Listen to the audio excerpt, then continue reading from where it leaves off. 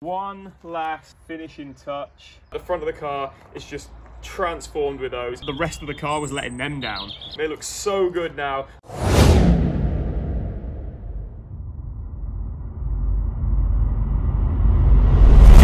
What's going on guys? Now if you've been watching the channel for a while then you probably know that recently we painted the inside of the headlights gloss black.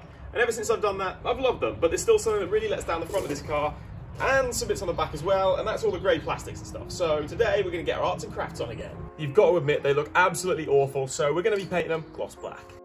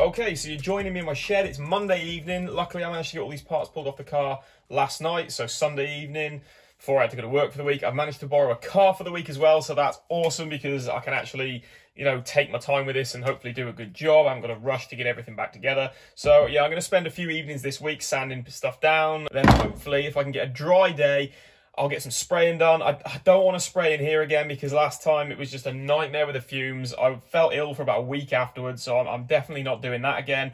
But, you know, I'm just going to grind this out. I've got the football on, so something to do, keep me entertained on doing this. And yeah, like I say, hopefully we'll manage to get sprayed sometime in the week if I can find a dry evening and can find somewhere under cover to spray. But we'll cross that bridge when we come to it. But for now, let's get onto the sanding. And then hopefully we can get the front of the car looking better. So let's go.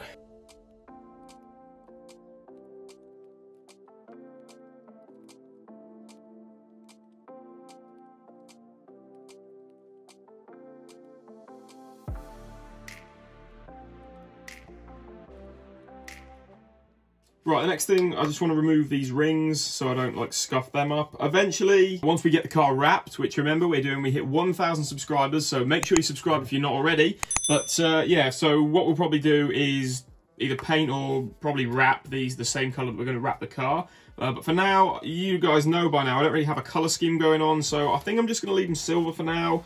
It really feels like they're so brittle and they're going to snap, but I've just got this one loose, I think.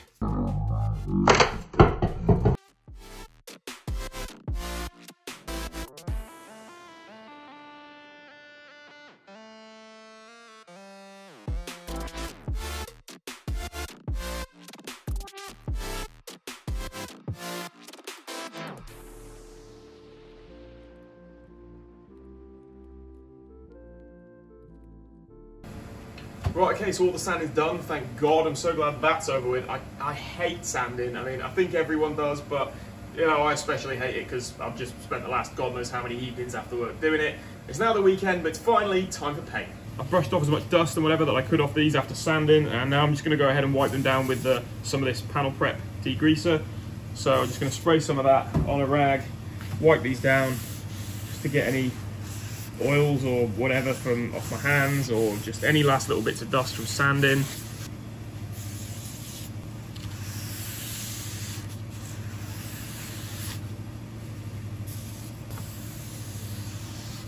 Okay, so we're just about ready to paint. Uh, just to show you what I've got, I've got some grey primer, some gloss black base coat, and I've also got some clear as well, because these are going on the outside of the car, so you know I want to make sure that it's you know the best finish it can be and it's got the most protection it can have.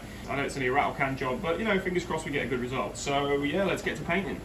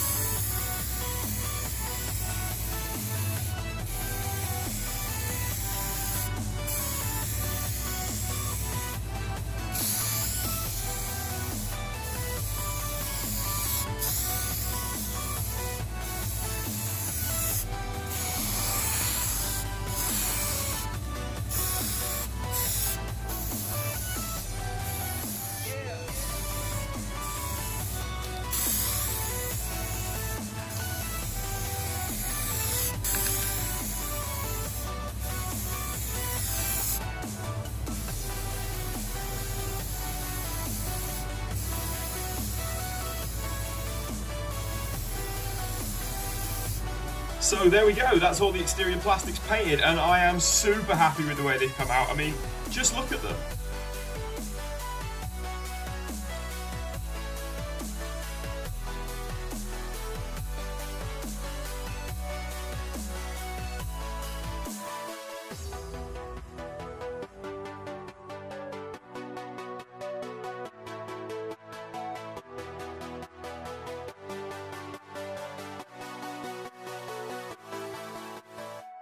I mean, they're far from perfect, but for a DIY rattle can job, I think these are pretty damn good. Uh, I'm definitely a lot happier with the way the grills have come out, like the lower grill and the, and the upper grill as well. Like they've come out really well. The gloss on those is fantastic for a rattle can job. Some of the other bits, like the fog surrounds and the rear reflector surrounds, you know, they're not the best, but you know, overall, I'm really happy with this. And for a DIY job, I think for under probably under 20 quid's worth of paint, I think this is pretty damn good. There's a little bit of reassembly to do, so let's get that done and let's get these back on the car and see how good they look.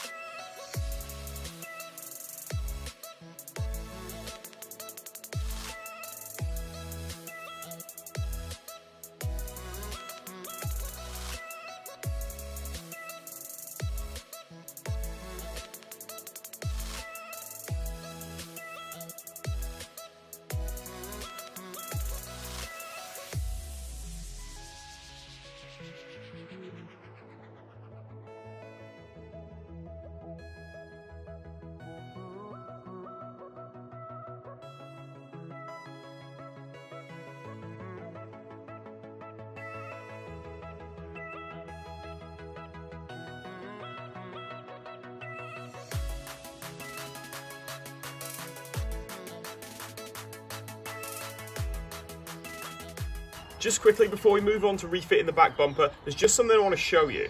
These bumpers are normally riveted here into the body of the car here. So to remove the bumper, you actually have to drill that out. I'd already done this a long time ago and completely forgotten about it. The bumper was just held on with, I think, just a couple of screws in the wheel arches. But we're going to sort that out today. We're not going to be re-riveting this. I've got a better solution. This is a riv nut tool. And what it's going to allow us to do is rivet a threaded insert into the body of our car. So we've got a permanently threaded hole that we can then just send a screw through to hold the bumper in place. Now the smallest insert that I've got takes an M5 screw, but uh, unfortunately it doesn't quite fit into the body of our car. So we're gonna have to drill this out slightly just so that it'll accept this riv nut. There's also a little bit of surface rust just here, so I'm just gonna sand that back and treat it with a little bit of rust remedy. Then wait for that to dry. Then once that's dry, I'm just gonna clean the area down and then just give it a really light coat of black paint just to try and protect that area from any rust in the future. Once that's had time to dry, I can now go ahead and thread my riv nut onto the tool. Then once it's wound on, pop it into the hole. Make sure it's pushed up firmly against the body of the car. And then squeeze the handles. That should rivet that in place.